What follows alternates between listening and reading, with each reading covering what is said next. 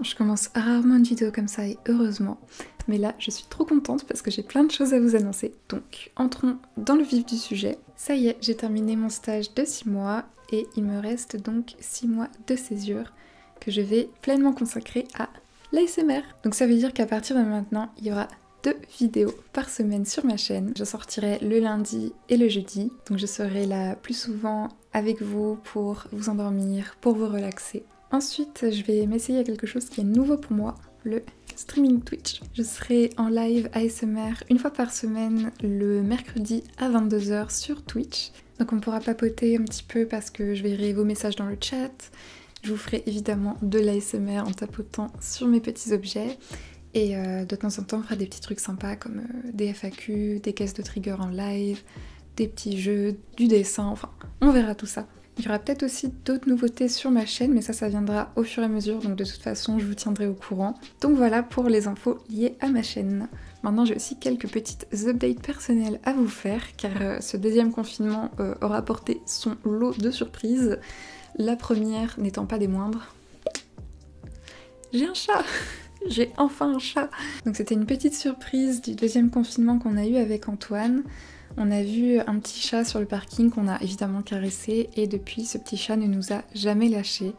Donc évidemment on a posé des affiches partout, on l'a emmené chez le veto, au début on pensait qu'elle était enceinte mais au final pas du tout. On l'a donc décidé de la garder. Elle est assez jeune, elle a autour de 2-3 ans et elle s'appelle Poki. P-O-K-I, aussi connue sous le nom de Pokichou, Pokinet, Pokimon, Pokiball, mon petit chou, je l'ai chuchu, mon petit bébé, etc. On a compris. Et si vous êtes sage et que vous restez jusqu'à la fin de cette vidéo, vous pourrez voir une petite compilation de vidéos trop mignonnes d'elle.